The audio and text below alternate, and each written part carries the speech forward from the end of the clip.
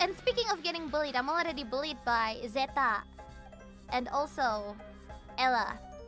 Got bullied by both of them. They, they, just debuted on Twitter and they already disrespected me as their senpai.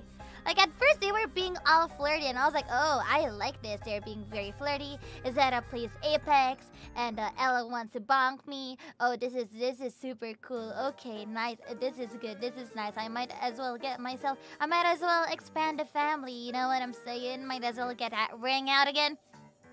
But no, I suddenly got bullied by both of them. Zeta uh, ignored me when when when she heard Moona Senpai's request, and then Ella Ella kind of roasted me for uh for not um for not having a nose. The only one who has not bullied me is Kaela. Oh, wait, no, not Kaela. I mean Kobo.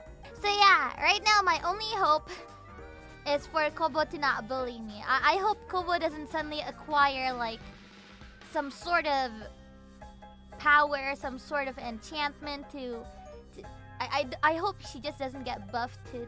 I, I, I just hope that she doesn't get buffed enough to uh, to bully me.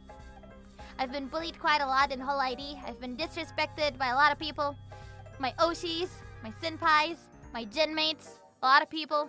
So I really hope she she uh she stays uh she stays cute.